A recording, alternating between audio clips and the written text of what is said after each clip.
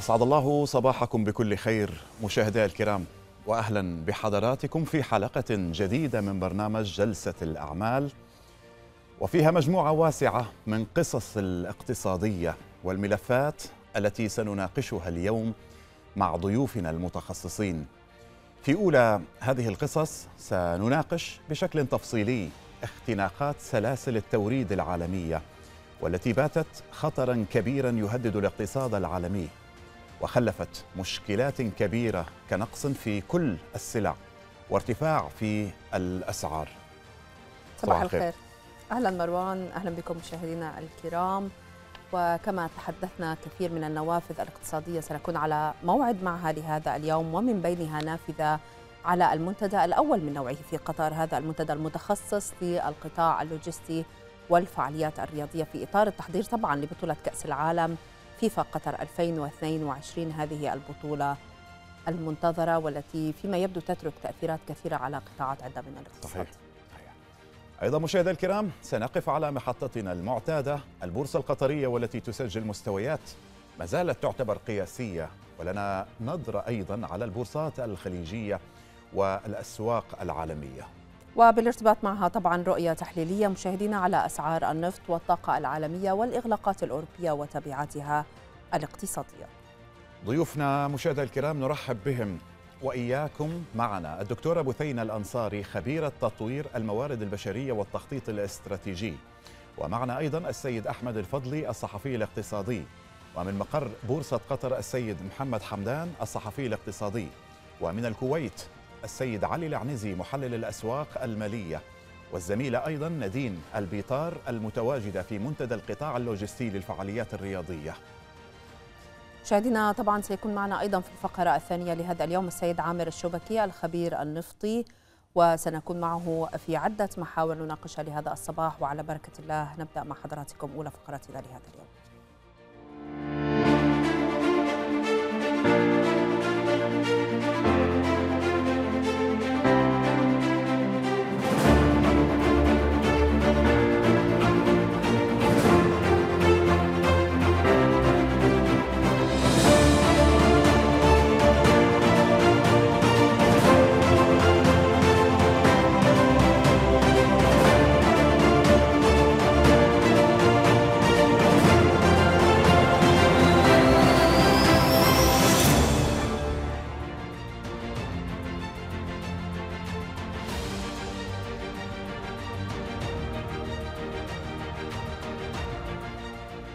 إذا مشاهدي الكرام هي واحدة من أخطر التداعيات الاقتصادية العالمية الكبرى لجائحة كورونا. أزمة سلاسل التوريد العالمية هذه المشكلة التي عصفت بالمسيرة الاقتصادية العالمية.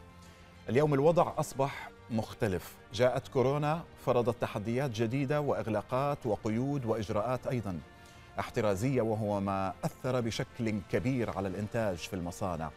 ومع عودة النمو مرة أخرى أصبح هناك ضغط على الدول المصنعة الكبرى كالصين مثلا ودول شرق آسيا كل فيما يخص من ناحية الإنتاج.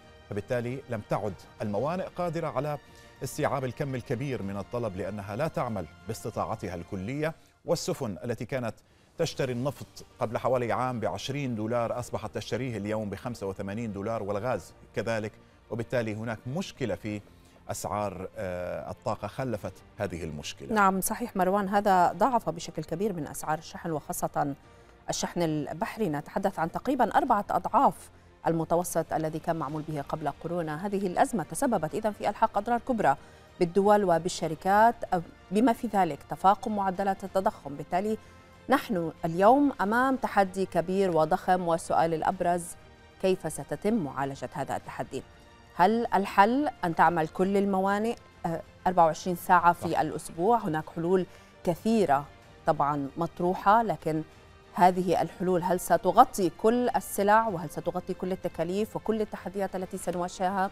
خاصة أننا لا نستطيع أن ننسى أننا اليوم في مواجهة مشكلة أكبر. هناك كفة أخرى تمثل حاليا التحذيرات التي نتابعها من استمرار كورونا ومن حتى المتحورات الجديدة. الأمور لا تبدو أنها ستكون مستقرة. ربما سنشهد صحيح. حتى سيناريوهات غير مطروحة حتى اللحظة ولا نعرف حقيقة إلى أين ستقودنا هذه السيناريوهات. دعونا مشاهدينا الكرام نشرك معنا الدكتورة بثينة الأنصاري. دكتورة بثينة صباح الخير أولا. اليوم أصبحت أزمة سلاسل التوريد العالمية آثارها التضخمية على الاقتصاد في العالم.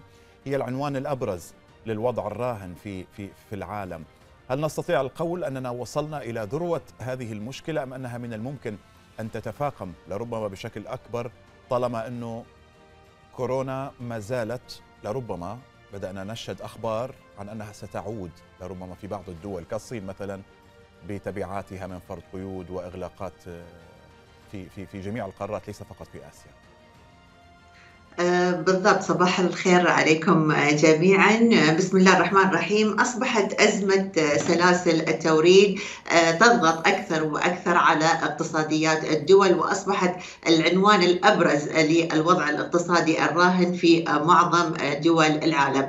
هناك تفسيرات عديدة لوجود هذه الأزمة أدلى بها الخبراء وهي عدم قدرة منظومة الاقتصاد العالمي على تلبية احتياجات الطلب من قبل آه، سكان الأرض.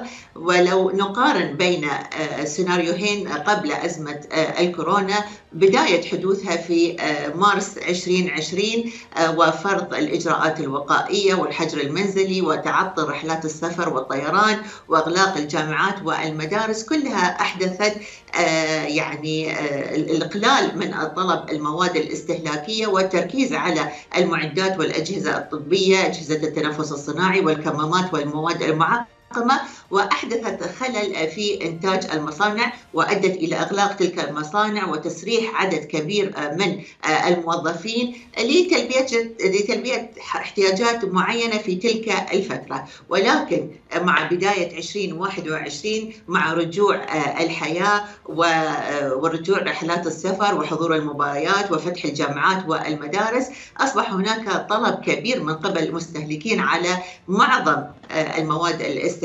ولكن هذه المصانع أغلقت سرح عدد كبير من موظفينها أصبحت هناك عجوزات في الشحن البحري وخاصة هو النقل البحري يمثل 90% من الشحن العالمي وأيضا زاد الطلب على هذه البضائع لكن سلسلة التوريدات أصبحت يعني هي عصب الاقتصاد أصبحت مشلولة لأسباب عديدة. ولكن هذه الأزمة سوف تستمر إلى ما الربع الأول من 2022 وخاصة نحن مقبلين على فترة الأعياد أعياد الميلاد وأيضا السنة رأس السنة الصينية في فبراير.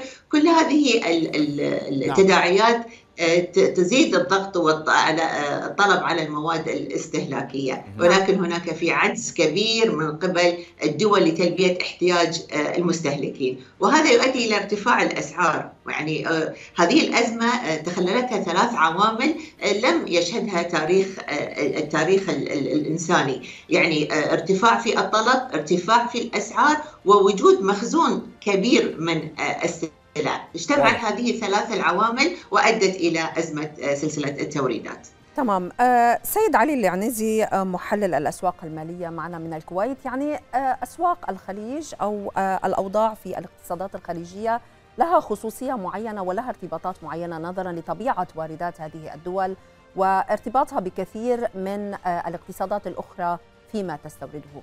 كيف أثرت هذه الأزمة على الاقتصادات الخليجية وما هي أكثر القطاعات برأيك التي كانت متضررة في هذه المنطقة؟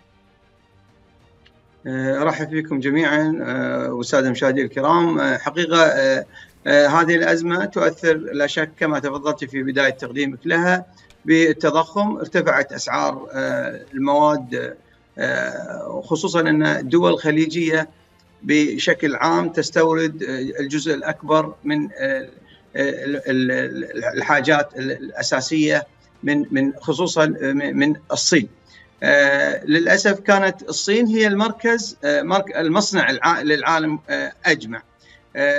مثل هذه الأزمة حقيقة قد تعيد ترتيب أيضا الاقتصاد العالمي هناك دول تقدمت بأن تستفيد من من انقطاع أو تأخر سلاسل التوريد ارتفاع أيضا أيضا ارتفاع أجور النقل والشحن بشكل عام. اقتصاد الخليجي بطبيعة الحال كما أن هناك أزمة في سلاسل التوريد هناك في التضخم وسبب هذه الأزمة ارتفاع أيضا أسعار النفط. لا شك أنه استفاد من هذا الجزء بالارتفاع الذي حصل لأسعار النفط ارتفاع كبير جدا. بالتالي غطى كثير من عجوزات الدول التي طبعا هناك موازنات الدول الخليجية معظمها أو جميع الدول نعم. عدا ممكن نعم. قطر يوجد لديها عجز أيضا في الموازنة. اجمالا نحن مستوردون وهناك ارتفاع في التكاليف اذا لدينا تضخم مستورد ناهيك عن التضخم المحلي الناتج عن زيادة النقد في الاقتصاد، اذا لدينا أيضا ضغط على على التضخم أو رفع لنسب التضخم بشكل كبير خلال الفترة الماضية وقد يستمر أيضا للفترة القادمة، نتمنى أن لا يتجاوز نمو نمو الاقتصاديات الحقيقي لكي لا لا يكون لدينا أيضا نمو حقيقي سالب بالماينس. ولكن الفائدة الكبيرة لدينا ارتفاع أسعار النفط لا شك أنها خفضت مثل هذه التداعيات الاقتصادية العالمية على دول مجلس التعاون الخليجي.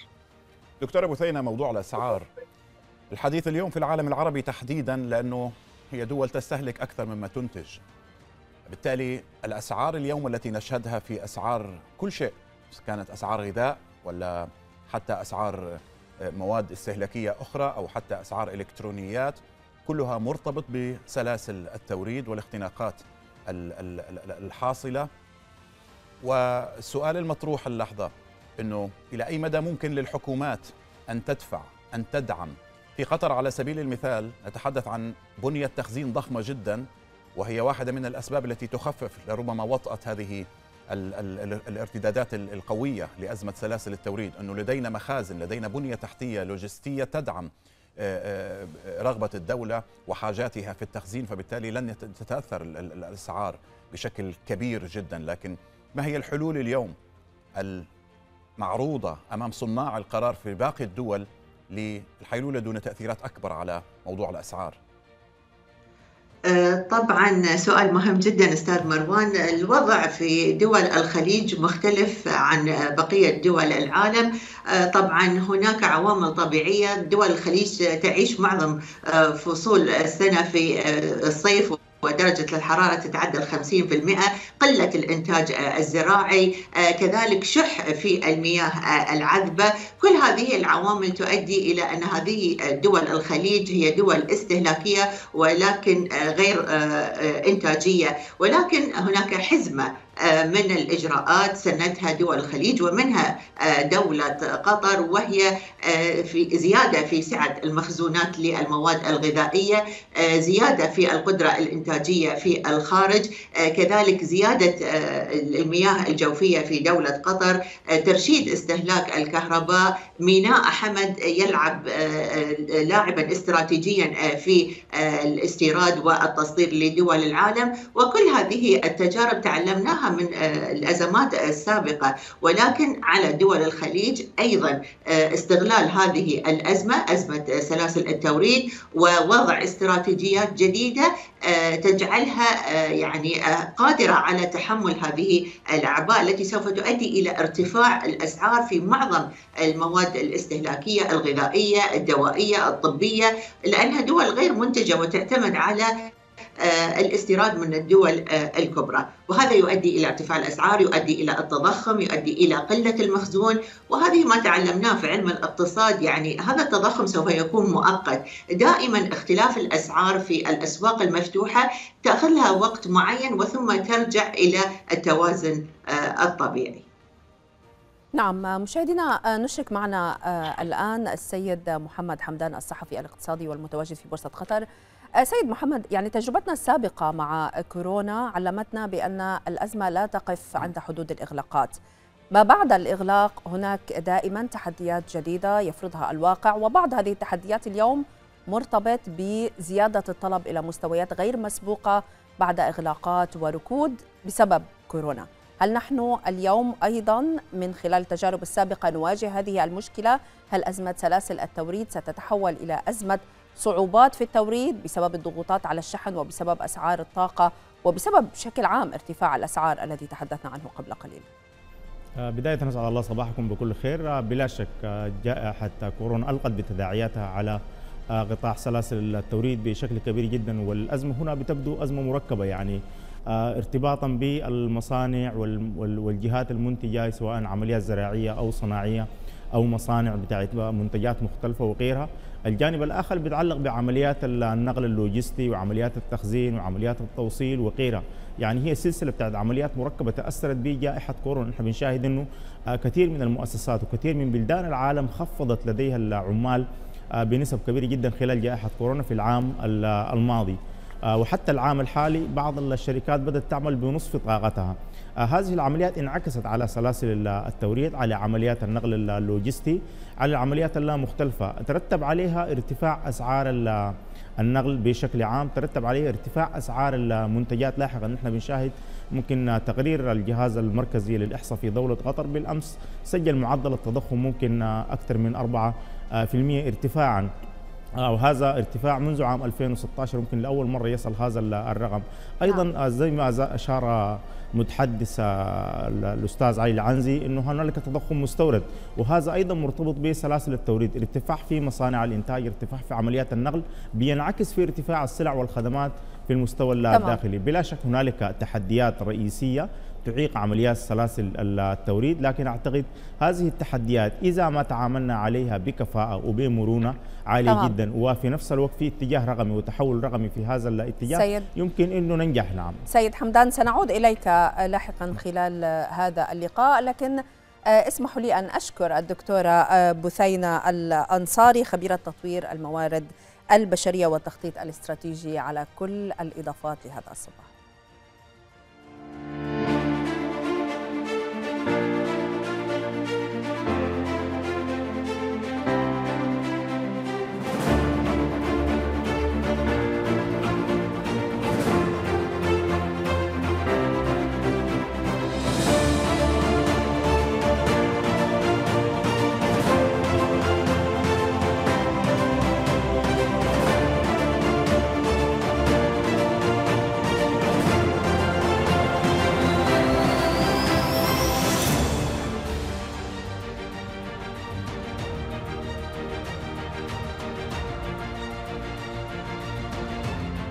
في هذه اللحظات مشاهدينا الكرام بالسيد أحمد الفضلي الصحفي الاقتصادي الذي ينضم إلينا لتحليل العديد من الفقرات في جلسة الأعمال. نذهب إلى قصتنا الثانية حيث تلعب الخدمات اللوجستية دورا مهما خلال التحضير للأحداث الرياضية لضمان تجربة أفضل للجمهور وللمنظمين حيث تتضمن تنفيذ مجموعة واسعة من الخدمات اللوجستية في المراحل التي تسبق هذه الأحداث وأثناءها وبعدها حتى وقد أطلقت شركة الخليج المخازن اليوم النسخة الأولى من منتدى متخصص للقطاع اللوجستي للفعاليات الرياضية تحت شعار كن جزءا من الحدث الذي سوف يسلط الضوء على الجهود الحثيثة التي تجري حاليا في إطار التحضير لبطولة كأس العالم فيفا قطر 2022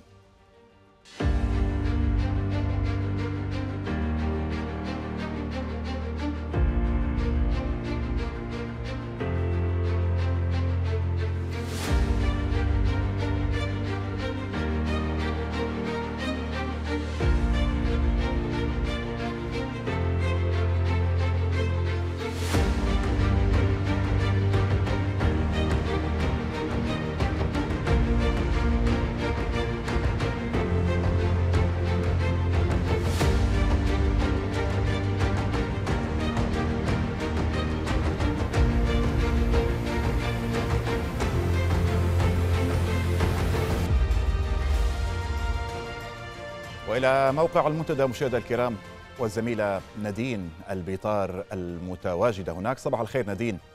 أهمية أولا إطلاق مثل هذا المنتدى خاصة وأنه قطر على مشارف استضافة بطولة كأس العالم القادمة ولو تضعينا أكثر في صورة ما يتم مناقشته وتقديمه خلال هذا المنتدى.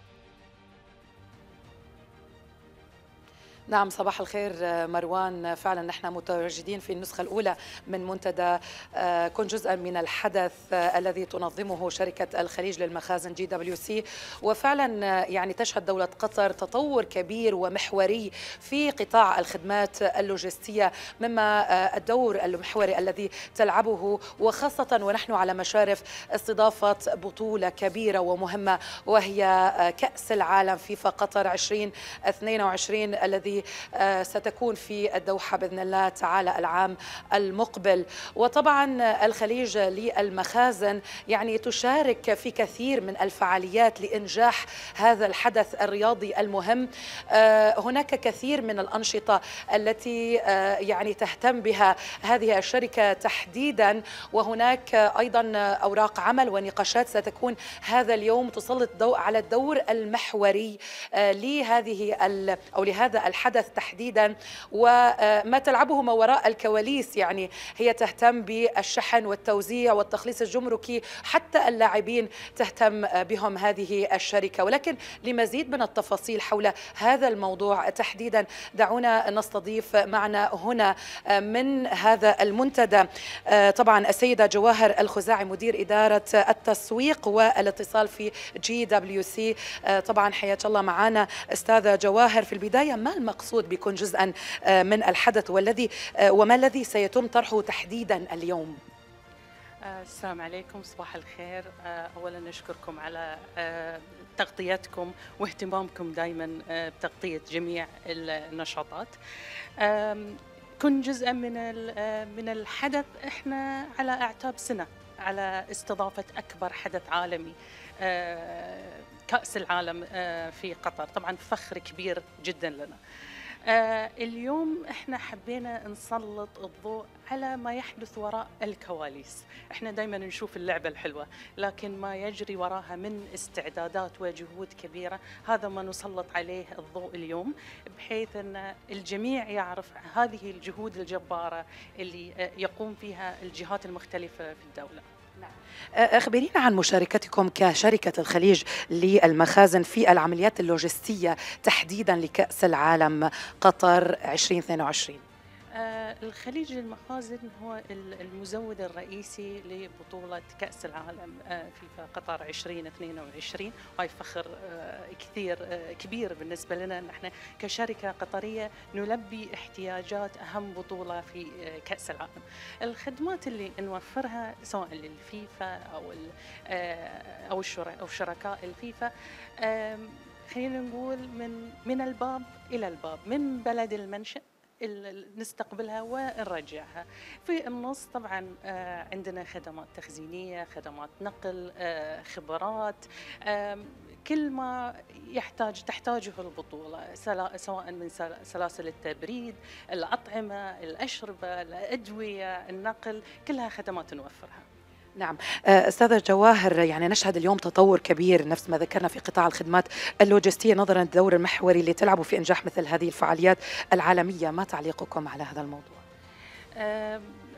طبعا قطر سباقة في جميع المجالات. إحنا اليوم يمكن نسلط على الجانب اللوجستي وجانب التطور في المنطقة من خلال آه، نقاشات وورش عمل. آه، نسلط فيها على جميع الاستعدادات سواء في الجانب التكنولوجي الجانب التعليمي جانب الضيافة.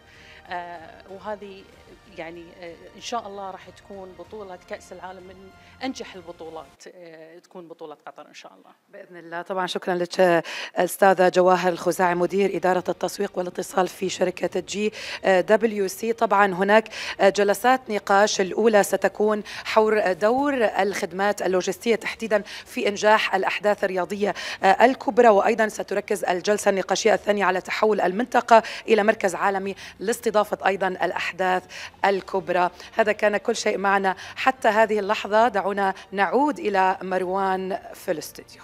شكرا للزميلة نادين البيطار على كل هذه المعلومات.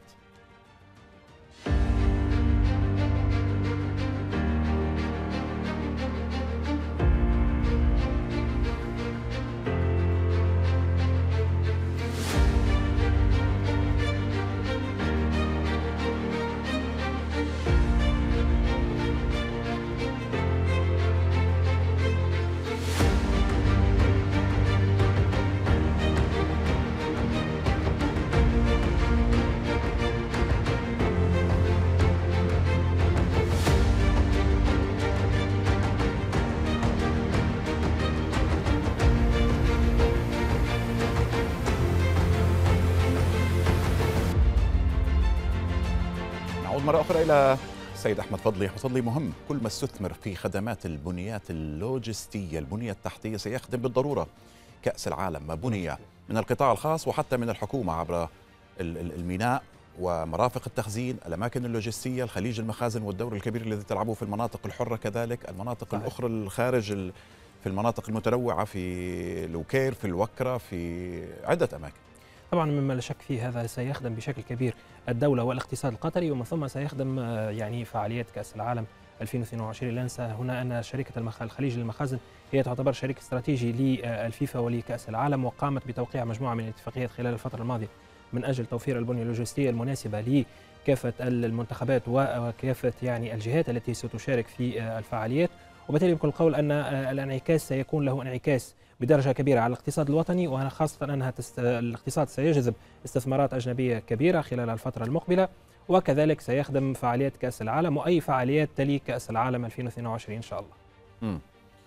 طيب البورصة القطرية مشاهدة الكرام اللحظة 11986 نقطة. أحمد فضلي ما زالت البورصة اليوم في مستويات دون ما 12 ألف نقطة؟ صحيح. يعني على استحياء البورصة في أنها تصعد وتنخفض تصعد وتنخفض وكأنه تريد أن أو يريد أن يقول المؤشر بأنه كان لابد أن يهدأ بعد سبع أسابيع من الارتفاعات. كان هناك من يدفع بالمؤشر العام فوق 12 ألف نقطة وتحديدا نتحدث عن المحافظ طبعا الأجنبية تحديدا لكن المؤشر ما زال مستقر هادئ مرتاح قليلا في هذه المستويات. ربما استعدادا لمرحلة جديدة. طبعا مستوى ال 12000 يعني نقطة مقاومة قوية الآن على ما يبدو أن المؤشر يختبر مدى قدرته على الصمود والتحرك فوق هذا المستوى. لاحظناها اخترق المستوى نهاية الأسبوع الماضي. مطلع هذا الأسبوع نتحدث عن جلسة الأحد والاثنين. كانت هناك عملية تهدئة يوم في جلسة يوم أمس عمليات استرداد لبعض المكاسب التي فقدها يوم الأحد. وعلى ما يبدو أن المؤشر اليوم سيحاول ربما آه، آه، الاقتراب شيئا فشيئا نحو نعم. مستوى ال 12000 والاختبار مرة ثانية على قدرة الاختراق لهذا المستوى. طبعا مما لا شك فيه نحن الآن تقريبا في منتصف الربع آه، الرابع من العام الجاري. أغلب الأنظار تتجه إلى الأسهم القيادية إلى عملية تجميع كبير. نلحظ يعني دخول قوي من المحافظ الأجنبية والخليجية خلال هذه الفترة على عدد من الأسهم القيادية والتي آه، ربما كانت كان لها الأثر الإيجابي خلال التعاملات يومي أمس في دعم المؤشر آه، في المنطقة الخضراء. طبعا ربما قد نشهد يعني عملية اختبار جديد خلال جلسة تعاملات هذا اليوم. سنعود إلى كل تفاصيل البورصة. أحمد فضلي مشاهدة الكرام ننتقل وإياكم اللحظة إلى موجز الأخبار الاقتصادية مع الزميلة روان إسماعيل لكن بعد هذا الفاصل ابقوا معنا.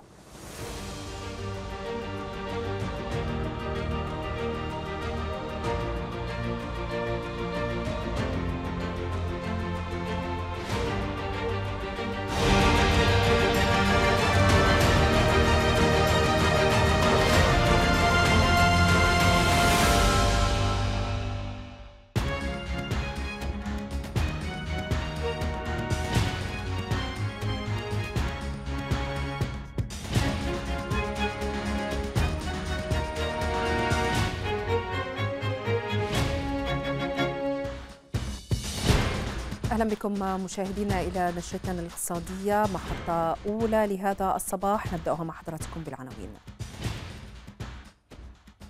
تحت رعاية معالي رئيس مجلس الوزراء وزير الداخلية انطلاق معرض قطر الدولي للسياحة والسفر. نمو الاحتياطي النقدي المصرفي بنحو 7% الشهر الماضي عند 107 مليارات ريال.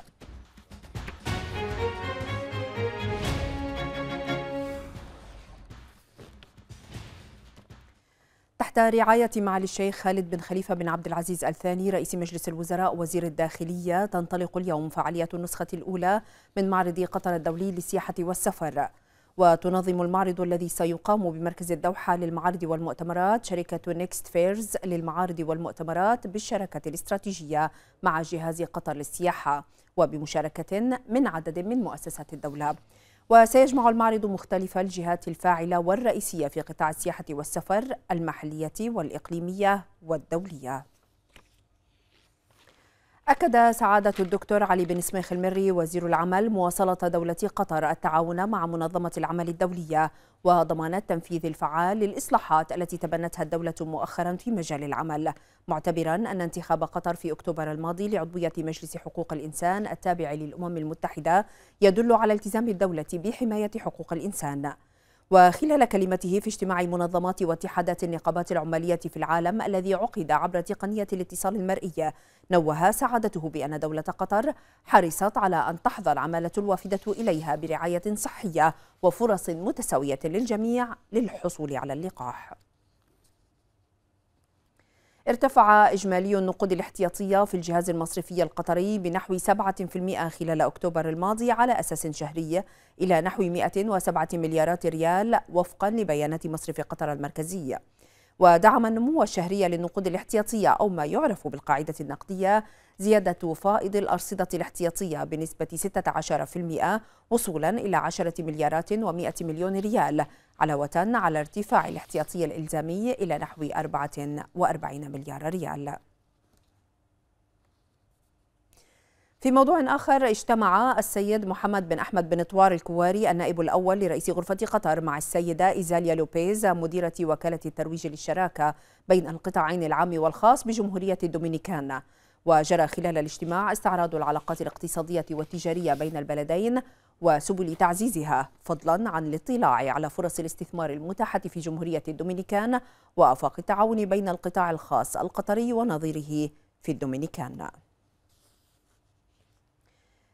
في أخبار الشركات تنطلق اليوم فعاليات منتدى شركة الخليج للمخازن مزود الخدمات اللوجستية للدولة المضيفة لمونديال كأس العالم 2022 وذلك بمشاركة خبراء قطاع الخدمة اللوجستية لتسليط الضوء ومناقشة أهم التحديات اللوجستية التي تواجه الأحداث الكبرى مثل المسابقات الرياضية العالمية بالإضافة إلى مناقشة الاتجاهات الإقليمية والتحولات في قطاع الخدمات اللوجستية. ارتفع مؤشر بورصة قطر هامشيا في مستهل التعاملات الصباحية لهذا اليوم عند مستويات 11980 نقطة فيما سجلت أحجام التداول أكثر من 16 مليون سهم بقيمة ناهزت 50 مليون ريال وشهدنا التنفيذ من خلال نحو 1500 صفقة. ونبقى في الأسواق لكن إلى الأسواق العالمية هذه المرة حيث استقرت الأسهم الأمريكية عند التسوية مع ترقب تصريحات مسؤولي الاحتياطي الفيدرالي.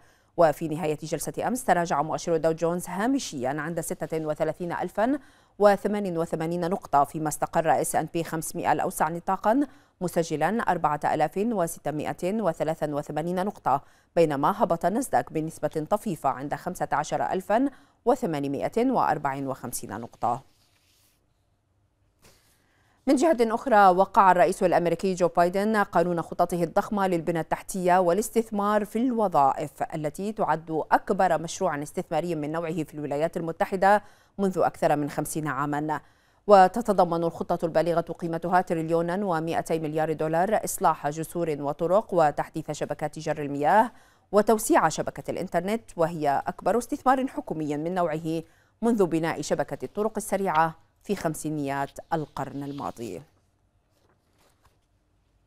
في الأسواق الأوروبية مشاهدينا ارتفع مؤشر ستوكس يوروب 600 بنحو 14% عند 488 نقطة وزاد فوتسي البريطاني هامشيا إلى 7352 نقطة فيما ارتفع كاك الفرنسي بنحو نصف في المئة مسجلا 7129 نقطة.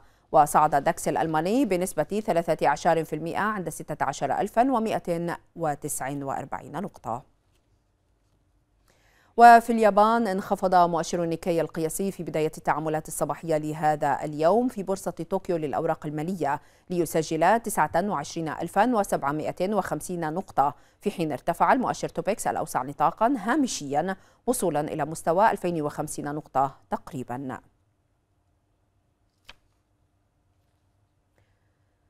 وفي أسواق النفط تراجعت العقود الآجلة لخام برنت القياسي تسليم يناير عند التسوية بنحو 20 نقطة مئوية إلى 82 دولارا و5 سنتات للبرميل فيما ارتفعت العقود الآجلة لخام نايمكس الأمريكي تسليم ديسمبر بنسبة طفيفة مسجلا 80 دولارا و88 سنتا للبرميل.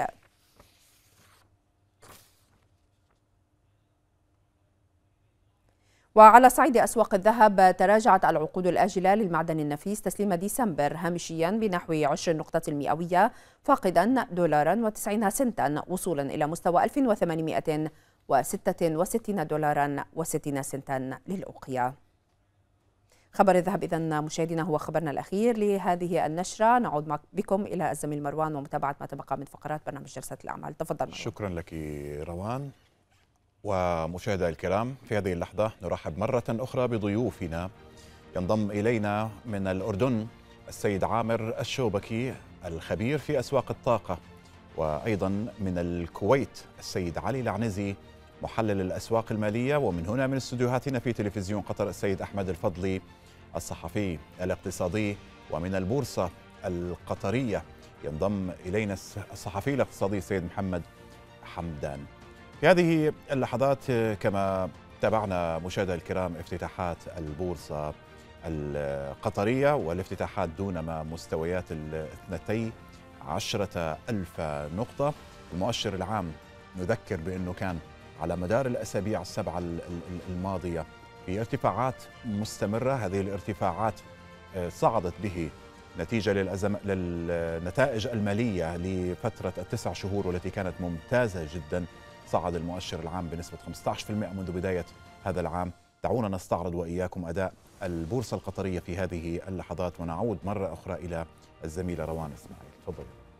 شكرا مروان. وطبعا كما نتذكر مشاهدينا اختتمنا الجلسة الماضية على ارتفاع هامشي نسبيا لكن رأينا هناك دعم واضح من المؤسسات الأجنبية وعمليات شرائية واضحة تابعناها خلال الجلسة خلال يوم الأمس. اليوم نفتتح الجلسة ببعض التقلبات. طبعا هناك استقرار حول مستويات الجلسة الماضية. نحن نقف حاليا عند مستويات ل 11982 نقطة. معنا قرابة العشرين مليون وثلاثة أرباع المليون سهم على لوحة التداولات بما قيمته 61 مليار ريال. معنا في عدد الصفقات أو مليون ريال. عدد الصفقات 1698 صفقة يتم تنفيذها حتى هذه اللحظة. قطاعات السوق كما نتابعها حتى هذه اللحظة. تميل إلى التراجع. الأبرز طبعا تراجعات التأمين. ورأينا ضغوط على هذا القطاع لعدة جلسات. حاليا نصف النقطة المئوية. القطاع الصناعي متراجع بأكثر قليلا من 10% كما هو الحال بالنسبة للقطاع العقاري والبنوك والخدمات المالية. ضمن النطاق الأحمر لكن نتحدث هنا عن تراجعات هامشية. إلى القطاعات الأفضل نسبيا ومن بينها النقل الذي يسجل استقرار نسبي كما هو الحال بالنسبة للبضائع والخدمات الاستهلاكية لكن هنا الاستقرار ضمن القائمة أو ضمن المنطقة الخضراء. الاتصالات يسجل مكاسب تبدو محدودة لكنها تقترب في نسبتها من عشر النقطة المئوية. الخليج التكافلي هو أبرز الأسهم ضمن القائمة. الخضراء يضيف إلى رصيده في هذا الصباح أكثر من 1.17% مقابل 1.14 نقطة للمستثمرين 21 نقطة للرعاية وقرابة 17% للإجارة هذه أفضل الشركات أداء حتى اللحظة. أما الأكثر تراجعا فالفالح التعليمية في الصدارة 3.17 نقطة السينما 2.16% الأهلي 2.5 نقطة وقطر للتأمين أيضا ضمن النطاق الأحمر اليوم بأكثر من 1%. النشاط يتركز مع QNB الذي يتداول على عشرة ملايين وثلاثة أرباع المليون معنا الطبية سبعة ملايين ريال كانت أيضا من بين الأنشط في الجلسة الماضية. الخليج الدولية ستة ملايين ونصف المليون والمصرف باللون الأخضر يتداول على خمسة ملايين وثمانمائة ألف ريال. سريعا في الأسواق الخليجية نتابع بعض الضغوط على السوق السعودي عشي النقطة المئوية. السوق الكويتي يرتد إيجابا بعد تراجعات الأمس قرابة أربعة أعشار في المئة ومعنا سوق مسقط ضمن الاستقرار لهذا الصباح. الأسواق الأمريكية تفاعلت طبعا مع ما تم الإعلان عنه بالأمس وتابعناها بالأمس بشكل عام ضمن الاستقرار. أه نتابع التراجعات محدودة بشكل واضح لداو جونز لإس أن بي وكذلك لنزدك دون كثير من التغيير عن الإغلاقات السابقة. المؤشرات الأوروبية ضمن النطاق الأخضر داكس في أه يضيف إلى رصيده ثلث النقطة المئوية. فوتسي البريطاني مكاسب محدودة وأكثر من نصف النقطة. نتابعها كمكاسب لكاك الفرنسي. إلى السيد علي العنزي محلل الأسواق المالية من الكويت. تابعنا ضغوط جني الأرباح على المؤشر الكويتي لعدة جلسات واليوم نتابع ارتداده. وهناك الكثير من المؤثرات. هناك النتائج المالية هناك المعطيات العالمية. أيها هو الأكثر تأثيرا حاليا على مسار المؤشرات الكويتية. اليوم كما تفضلتي هناك ارتداد في المؤشر ولكن مع سيولة محدودة مقارنة مع معدل شهر. من الآن هي الأقل والأدنى سيولة ولكن هناك مجموعة من من العوامل المؤثرة على تعاملات السوق الكويتي. انتهينا أمس من إعلانات أرباح الربع الثالث.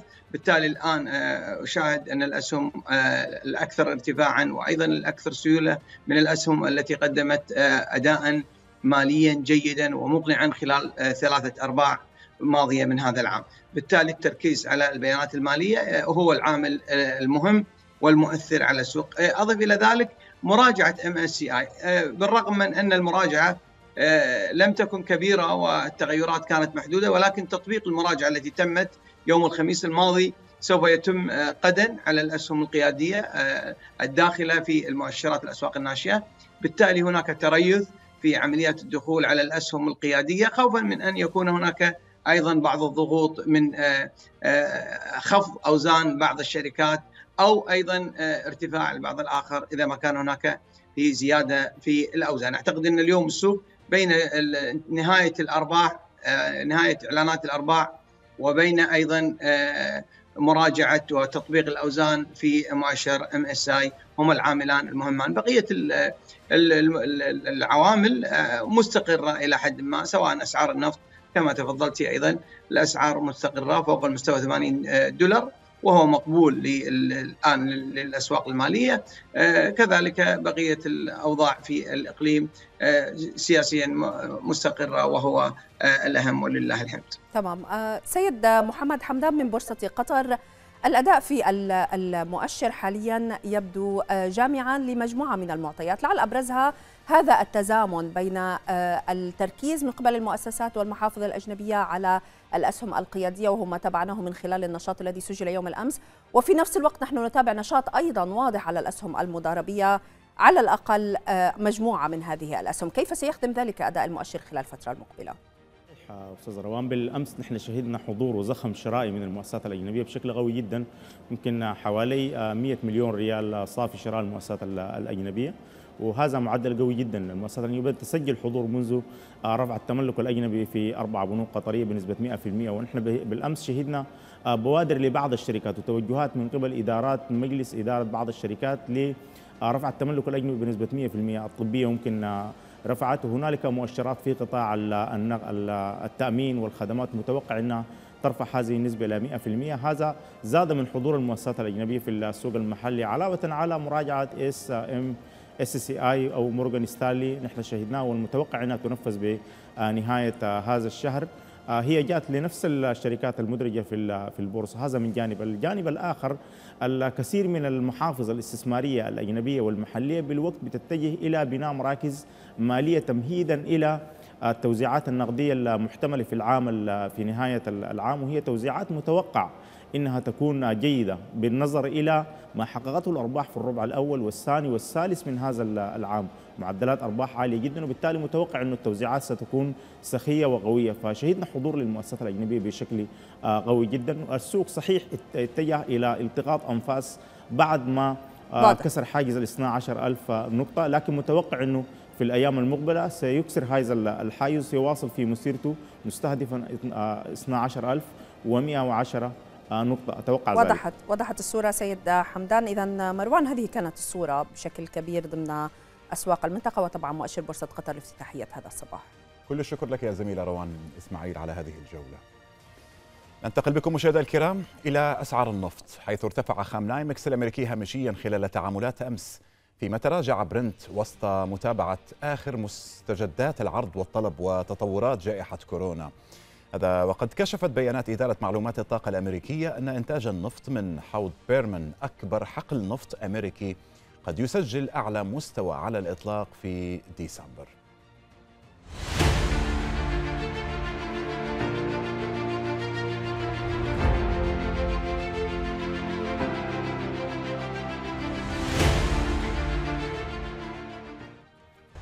وللتعليق على الموضوع مشاهدينا الكرام ينضم إلينا السيد عامر الشوبكي الخبير النفطي من الأردن. صباح الخير سيد عامر. وزير الطاقة الإماراتي قال إنه يتوقع فائض في المعروض النفطي في الربع الأول من العام القادم 2022 مستبعد احتمال وصول أسعار النفط إلى 100 دولار للبرميل. كيف ترى هذا التصريح؟ بسم الله الرحمن الرحيم. بداية أستاذ مروان تحية لك وللمشاهدين وشكرا على الاستضافة.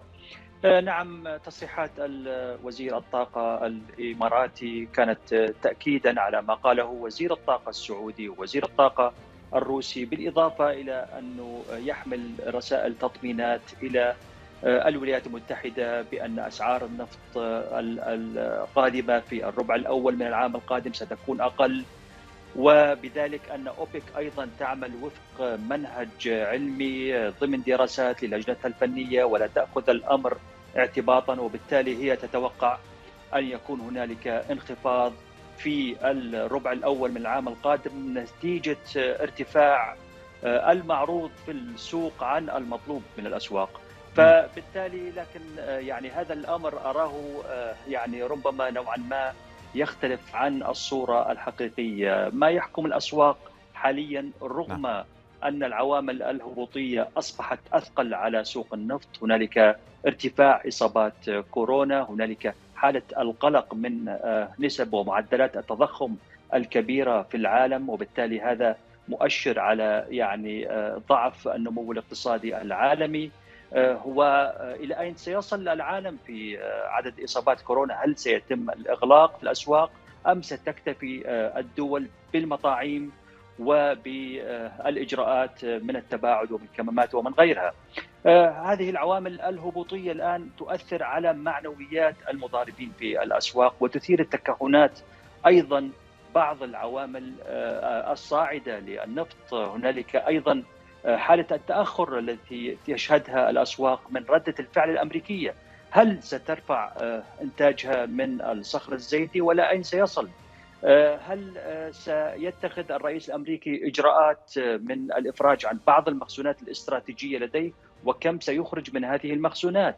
هنالك أيضا يعني لا ننسى يعني ارتفاع أسعار الدولار بأعلى مستوى منذ 16 شهرا أثرت لكن بشكل ضئيل لكن العوامل كلها تجتمع على أسعار النفط الآن نعم. لتحدد يعني مسيره في الأيام القادمة وكيف سيتجه إذا كان صعودا مع موجات البرد إذا كانت ستضرب أوروبا أو لا وبالتالي نحن مقبلون على حالة من الضبابية حاليا تعيشها الأسواق حالة من الضبابية. والتكهنات من المستثمرين نعم. والمضاربين في أسواق النفط نعم. سيد علي العنيزي من الكويت لربما ما يجري اليوم وهذه التصريحات تتناسب أيضا مع ما توقعته أوبك وتصريحات وزراء أوبك. إذا ما تذكر قبل حوالي أسبوعين من انه الأسعار النفط لن تواصل ارتفاعاتها وكانوا يهدئوا هنا كبار المستهلكين. كيف تقرأ السيناريو القادم في ظل استقرار أسعار النفط اليوم على مستويات ما بين 80 إلى 85 دولار وفي ضوء لربما لربما تحدث هنا ضعف الطلب المستقبلي نتيجة إغلاقات لربما نشهدها في أوروبا واحد من أكبر المستهلكين وكذلك الأمر في آسيا أعتقد إن بداية الإغلاقات ليست فقط في أوروبا، أيضا هناك ارتفاع في الإصابات في الصين أيضا وهي لا شك من أكبر المستهلكين على مستوى العالم. أعتقد إن أسعار النفط سوف تتأرجح بين ال 75 إلى 85 دولار. مستوى نقطة 80 دولار الآن محورية لأسعار النفط. والمؤثر الأكبر عدا ما تفضل به الضيف الكريم من أسباب عديدة لمثل هذا الضغط على الأسعار. أعتقد أن أيضا قرارات أوبك قرارات أوبك هي الحاسمة في موضوع الأسعار. إذا إذا ما إذا ما رأت أوبك أيضا زيادة الإنتاج لا شك أنه سوف يقوم ب الضغط على الأسعار. ولكن كانت أرامكو خلال الأسبوع الماضي قد رفعت الأسعار لعملائها في في شرق آسيا. مما يرجح أن تستقر الأسعار عند هذه المستويات. لا شك أن الإقلاق في أوروبا لا أعتقد أنه مقلق كثيرا مقبلين على الأعياد. وكان هناك كما تحدثنا سابقا هناك حديث بأن هناك نوايا خفض التخالط خلال فترة الأعياد. لا يوجد حقيقة توجس كبير من أن نعود إلى إغلاقات ما, ما, ما سبق للاقتصاديات على وجه الخصوص. قد يكون إغلاقات محدودة هنا وهناك ولكن الاقتصاديات تذهب إلى الفتح. المطارات مفتوحة الحركة مفتوحة فقط إغلاقات محدودة. وما نراه الآن من حضور جماهيري في مباريات أيضا أو تصفيات كأس العالم قطر 2020 له خيط شاهد على أيضا على الاستمرار بفتح الاقتصاديات. بالتالي حجم الطلب على النفط سوف يبقى عند هذه المستويات. قد يكون خلال العام القادم خوف من أن يكون هناك بدء بداية في التباطؤ الاقتصادي. عندها سوف يكون لكل أيضا حادث حديث في وقته نعم. أحمد فضلي. سيبقى الطلب كما كما هو عليه. اذا كما يقول السيد علي حتى العام القادم على أقل تقدير. طبعا الطلب يعني في ظل التعافي الاقتصادي الذي شهدناه خلال التسعة أشهر الماضية من العام الجاري طبعا هناك توقعات بأن يتواصل ربما مستويات السعرية يعني عند مستوى بين 75 دولار إلى حدود تقريبا 85 دولار للبرميل الواحد.